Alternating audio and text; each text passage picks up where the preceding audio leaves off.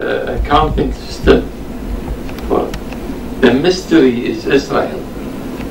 You know, uh, you declare uh, how many atomic weapon they have, or is it a taboo? You cannot touch them uh, because they brought this nuclear uh, plants and all in the Middle East. So, why don't you use the same system now you're trying on other countries? Is it taboo to, uh, and you are not, you didn't do, don't declare it. So what is the, the reason? Yeah. Maybe I'll answer to this. Yeah, so everything is based on agreement and treaties. Israel has not joined the non-proliferation treaty like India and Pakistan. So therefore they have not placed all their nuclear installations for international monitoring and verification. So the only way to uh, deal with Israel is either uh, they uh, denounce their nuclear capabilities and do away with their nuclear weapons and join uh, nu- uh, nuclear non-proliferation treaty as a non-nuclear weapons state. This is ethical, not very likely option to come. But there is another treaty which is under discussion, and this is called Fissile Material Cutoff Treaty, which I have been involved in last two years, where these countries which have nuclear weapons, they commit themselves that they stop the production in a verifiable manner, and then they go to the disarmament, which needs another treaty. But uh, in a way, we will cap it, and the countries which go to this category are North Korea, India, Pakistan, Israel, and then those five nuclear weapon states. And those negotiations have been stuck for last 20 years. And now, finally, they were able, after 20 years, to form this group which I was party to, and we went through uh, last two years uh, kind of you know, verification protocol, which the French government last week turned to a model treaty. It still needs to get these countries to agree on that, that the negotiations start. So that will be the uh, next step. Then there's one more initiative here, and this is the Middle Eastern uh, zone of free of weapons of mass destruction. It actually originally was a nuclear weapons free zone in 1970s, and this proposal was done by the Shah of Iran and then seconded by Egypt. That has also been stuck because of the political situation, and uh, those negotiations have been now more more uh, active in the last few years, but unfortunately they were not able to get to this uh, meeting where the foreign ministers were supposed to meet. And uh, this, uh, uh, there's a facilitator from Finland, uh, Ambassador Laajava, so he will report his findings next week to NPT review conference. And now depends very much what happens next. That uh, whether you know, they get this meeting with the foreign ministers and start to look how to deal with this problem. Uh, there, this is my personal view. Uh, actually, Iranians and Israelis have been sitting on those meetings, but there has been pro problem on the some of the Arabic side that there has not been unity for other reasons. So I hope that we get over this hurdle and then one can start to do more focused talks. And this will cover then all weapons of mass destruction, chemical weapons, biological, and then uh, also nuclear, plus their delivery vehicles, missiles or whatever you will use. So it, it will be very comprehensive. But I think a lot of time is still needed when we look what happens in this region in these days. It will come. And uh, I hope it will change then also Middle East, but most likely middle, uh, before we get there, some things in the Middle East need to be So this is a little like a chicken and egg. Thank you very much for this excellent presentation, especially the introduction you gave on I, IAEA, your organization. uh, we were consumed all the time by sort of political argument regarding this very delicate and very complicated and sophisticated issue.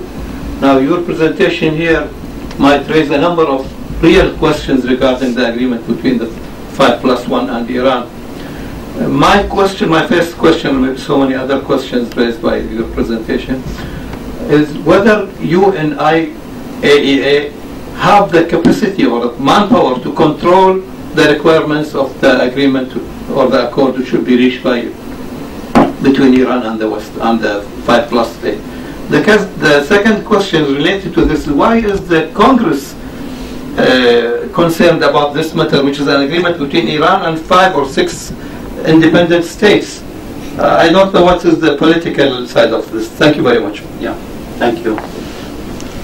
Well, certainly IAEA has all the resources, provided that it gets them from the member states, because IAEA is the organization from the member states. If the member states feel that this is a task IAEA can take, P5 plus 1 cannot decide it on the behalf of IAEA. If there is an agreement, it will be brought to the IAEA Board of Governors, there will be a debate, and then Mr. Amano will set, present a budget and a kind of vision how, how he thinks this is to be done. I don't see this as a huge task. When I compared, for example, the activities which we had in the beginning in Iraq, or activities in South Korea when we went, sorry, South Africa, went to verify the dismantlement of the South African nuclear program, or verification in a large nuclear fuel cycle like in Japan. So it's a different type of task, needs different uh, specialties. IAEA has to get some additional staff with the staff with the special skills, skills and funding, but I think it's a doable.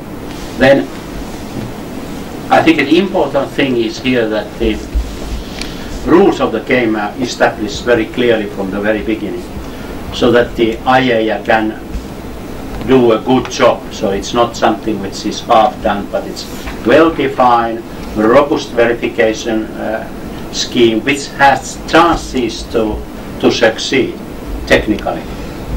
not only politically but technically and there are lessons to learn like you know the limited access in North Korea which actually led to some of the unfortunate situations. So there are a lot of these technical details which need to be sorted out. And then the second question was Congress. Congress. Well, well, that's a complicated. Yeah, that's a complicated thing. Uh, I have been invited to testify there four times during the last two, three years. And I'm, I'm not an American, I'm just a simple Finnish chemist. Yeah? So the way I see it, first of all, there is a difference in view on the policies between the president and his party and the Republicans. That's fair. fair to say.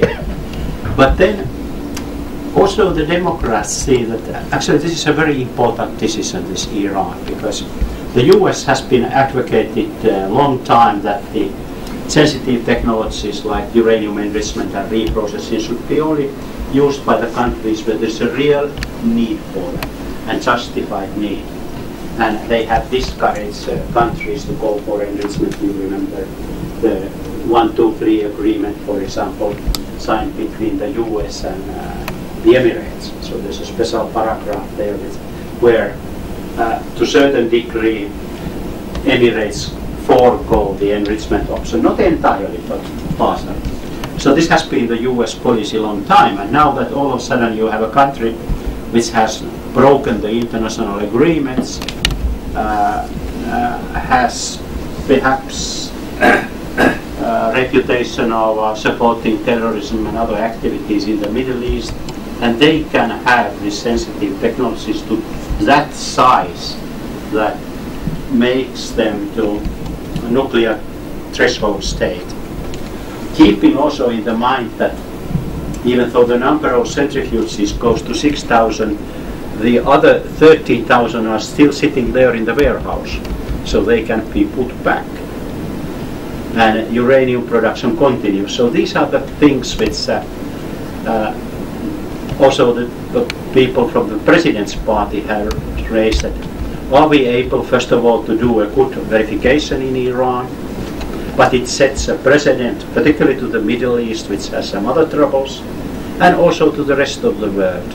And particularly in their mind is North Korea and South Korea. And as you know, South Korea wants to have uranium enrichment, and now it's very hard for the US to go to say, yeah, yeah, you, you can't have it, but okay, Iran can have it. Mm-hmm. So these, these are important decisions, and that's why I understand that the, the Congress wants to have a say on this, because president coughs but the Congress stays and the country is responsible for this. But there are no easy solutions. Dr. Hamid. Shukran. Hamid Mahmoud. Thank you so much, Dr. Ali. My question is very short and simple. Iran has uh, has enriched uranium up to a level of 20%. How much time does it need to increase its concentration to 90%, which is uh, capable, which is capable of uh, making nuclear weapons, with, with using its existing facilities? The existing facilities, they can use all of them, few weeks. two weeks. Two, Few three weeks, weeks, two, three weeks, few weeks, depends how If they you... use all of their 19,000 Yeah, yeah, yeah, not under the agreement. yeah. Yeah. The And, cap. And why it goes Then so... why they are signing the agreement now? To stop it. To So, it. and, and the thing is that, you know, I didn't have time to go to the nuances, but uh, when you have natural uranium, it takes about 5,000 of those centrifuges to go from in one year to a nuclear weapon material. Enough for one. If you have this more advanced centrifuges, uh, you need only 1,000 of them instead of 5,000 For one year. for, for, for one year. But then it depends also on the level of enrichment you have. Because this is when I say when you start with uh, natural uranium. But if you already have this, uh, let's say 5% enriched uranium, actually you have done 60% of your work. You are more than half away. So any of those numbers which I mentioned get cut to half. But then comes the 20% enrichment. Actually you have done 90% of your work. So uh, it's not, it sounds 20% is uh, uh, a low number. And many academics in the US, they say it's a medium enriched uranium. I said, it's a wrong understanding. Because it's, like, it's not a glass which is half full or half empty. It's a glass where someone has only taken a sip. Because 90% of the work has already been done. So this is the reason why this agreement uh, also says that Iran should not have this 20% enriched uranium. And there is no technical or economical reason to produce it either. And why I say so? The world is full of highly enriched uranium as a legacy from Cold War. There are hundreds of tons of weapons-grade uranium with no use. They are not anymore even uh, in nuclear weapons in uh, in uh, Russia and in uh, US. So you take that 90% enriched uranium, you mix it one to four, and you have fuel for research reactor for decades, if not hundreds of years. So I don't see any reason for anyone to produce new 20% enriched uranium and just burn it in, in uh, normal reactors and do away with it. That's the way, the way to go. Thank you. My name is Manaf Al Hajri. I have three questions. Yeah, the first one has to do with the design of the agreement itself. I'm not a specialist, but I have a problem um, conceiving the order of magnitude of the time horizon. Um, it's only 10 years to take Iran to a certain threshold of, you know, a certain legitimacy in, in using nuclear um, facilities. It is like a deferred green light, in my opinion. So, could you shed some light um, on the rationale behind why why 10 years? Because if you buy a flat in many countries, they'll give you 99 grace period, 99 years. So why why 10 years? It's practically nothing. And given the colossal consequences of, of, of that implication. The second question is um, have to do with um, with uh, if, there, if there is any sort of non-physical or nuclear clauses or milestones such as human rights or civic rights that uh, Iran has to comply with in terms of the treaty. Is there anything of that sort, or are we going to see the same Iran as we see it today after 10 years enjoying the new status? The third and last question is on your take on the consequences of um, the agreement on the on the foreign policy of the GCC countries and what sort of strategic options they have. Because again 10 years is nothing. In the life of countries do you think they will move their act together somehow and develop certain more serious nuclear options or, or do you think we're going to see the status quo more or less thank you Hard to say. So the latter one. But uh, let's go one by one. Yes, this is uh, Iran remains as a nuclear uh, weapons threshold state.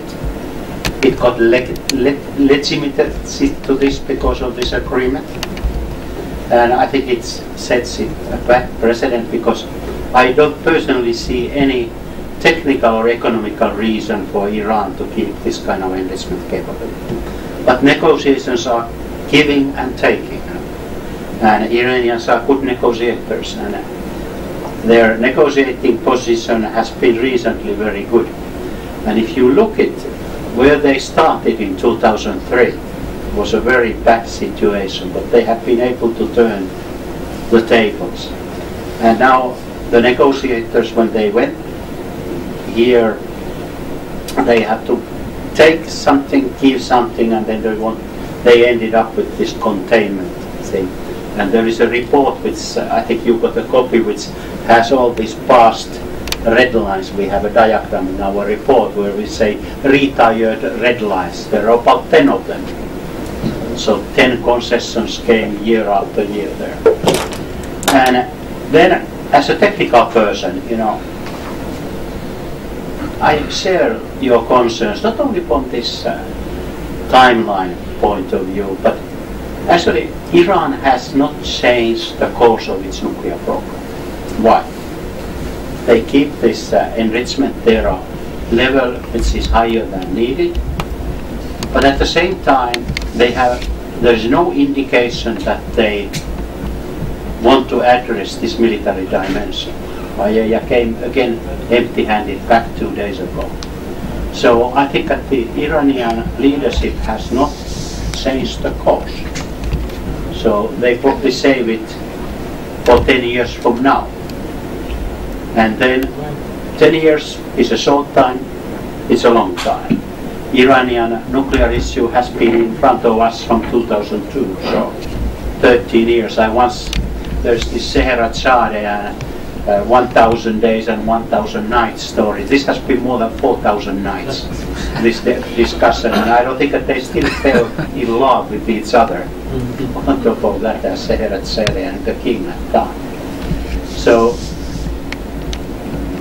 we, we are going to have this problem there for, for a while. What should the Gulf countries do? Uh, uh, well, you have your legitimate uh, nuclear programs, and uh, the only advice is that play according to the rules of IAEA that you don't get in trouble.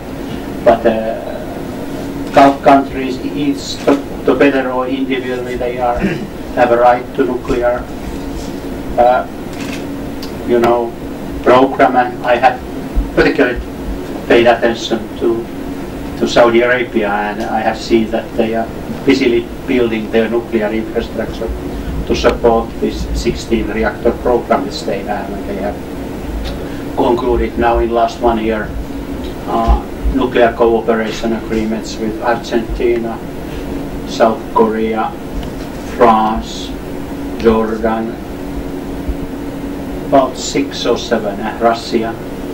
So probably will do with China. So they start to build their infrastructure. It doesn't mean that they go to nuclear weapon, but uh, as one of the Russian negotiators said me in summer 2003 uh, at all, you know, when I said, why do the Iranians do all this? Say, they said that look first where they are.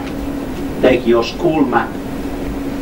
Look, you know, they have a nuclear weapon state here, they have a nuclear weapon state there, they have a nuclear weapon state, they are surrounded by them. So they are probably worried about their security. And then he said that what they are now doing, they are climbing up on the nuclear ladder so that they are high up if they have to do a political decision to go for weapons, it would be shorter time. And I think that this is what we have seen, and they have been pretty successful on that. And they did it with small steps. People were annoyed, there were political turmoils, but the, it was very measured step at time, and that's why these 10 uh, red lines got passed. And I think that you have uh, important decisions in front of you, how you plan to uh, have your security.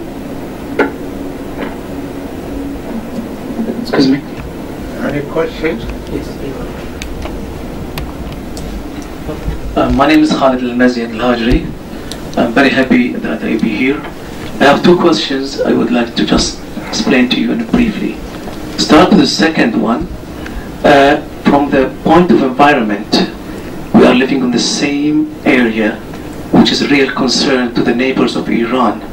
So, what was what uh, was the main concern and consideration to take to the agreement to Iran, as these places are very close to our area, and as nowadays as the, the climate and global warming is effect. It's a serious, it's a serious concern about that. The second question, a personal question to you, what is the, pro, the pros and cons from your personal view to get out from this agreement? Thank you very much.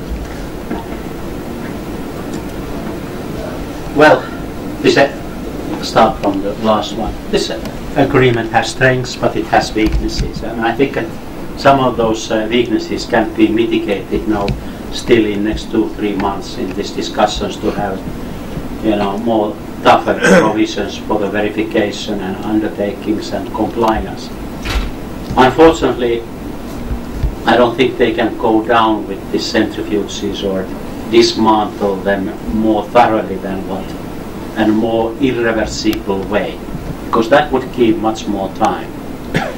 But uh, I think it's so hard to get. Then Iran nuclear safety and all this yeah.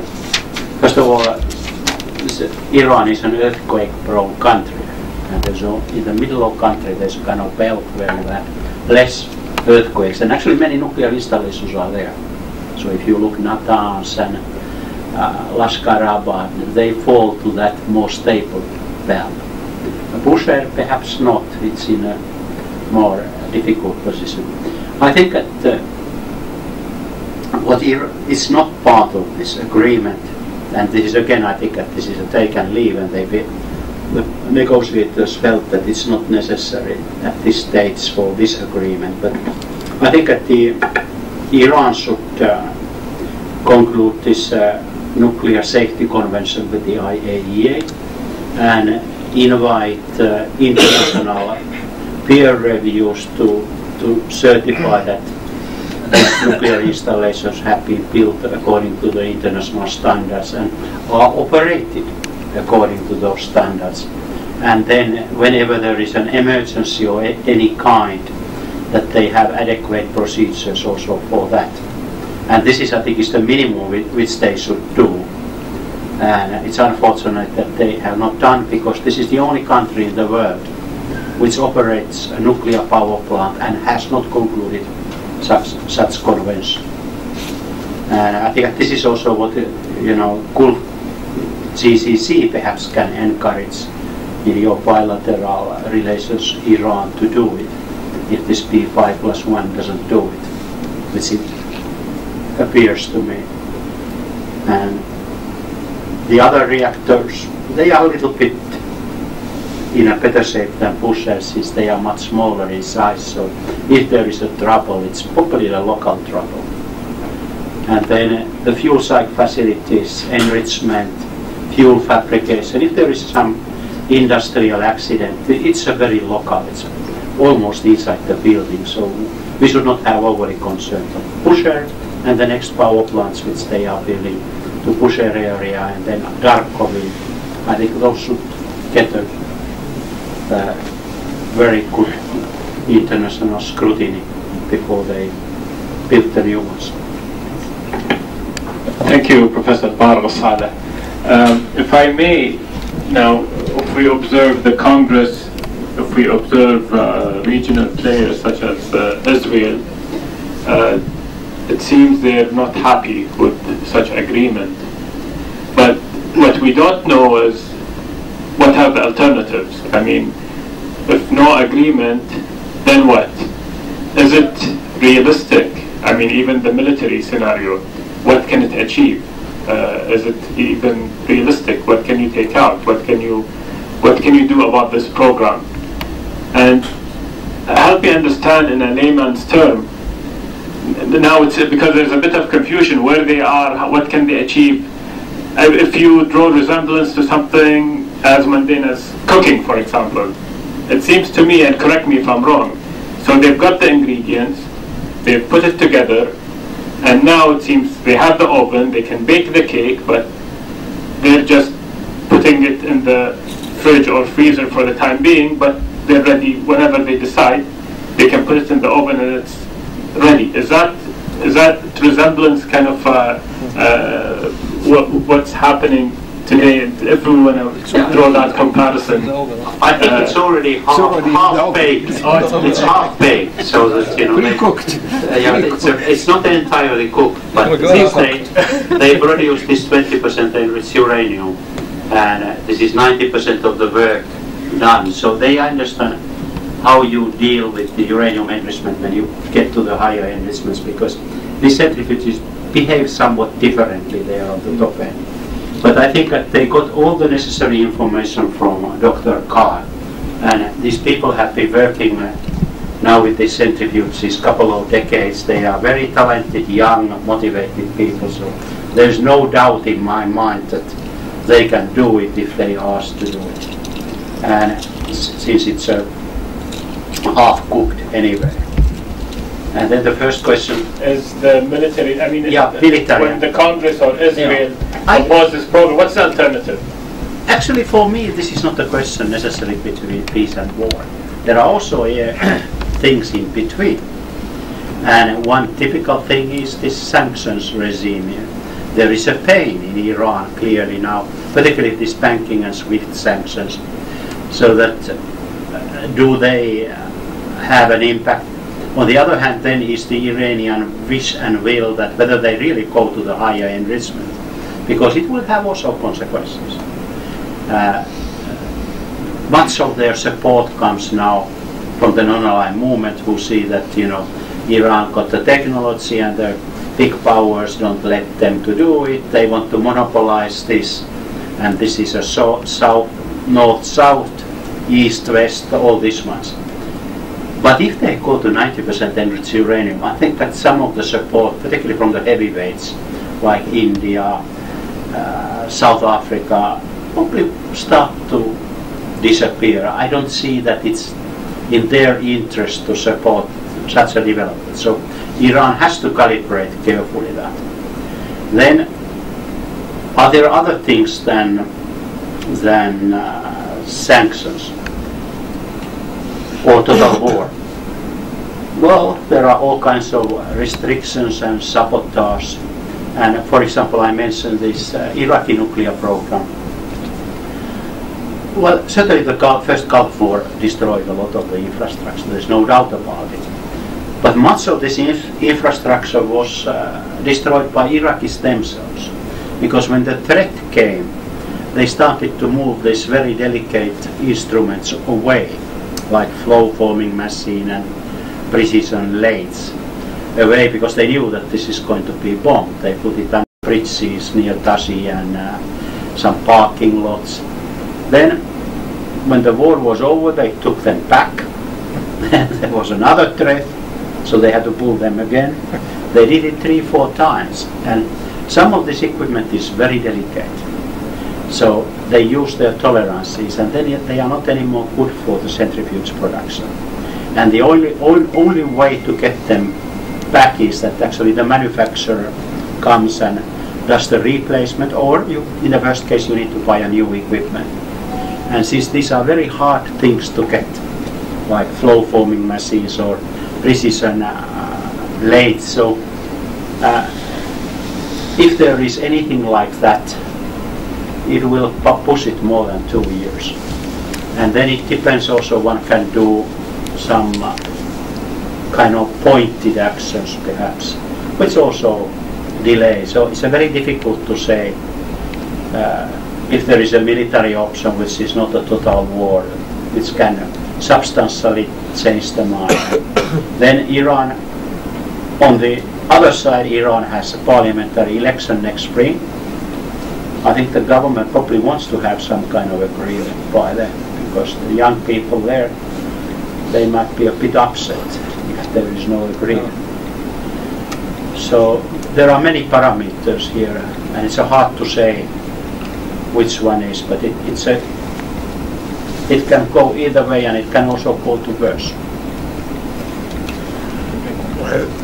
I, I would like to thank uh, Professor Heinonen for his uh, excellent presentation and, and I also like to thank the audience for their interesting questions and comments and uh, also the thanks goes to the Kuwait Foundation for the Advancement of Sciences for allowing to have this presentation and uh, this uh, honorable guest with us. And I would like also to thank uh, Kuwait Economic Society for having this forum. And thank you, all of you, and thank you Thank for you being very with much us. indeed. Thank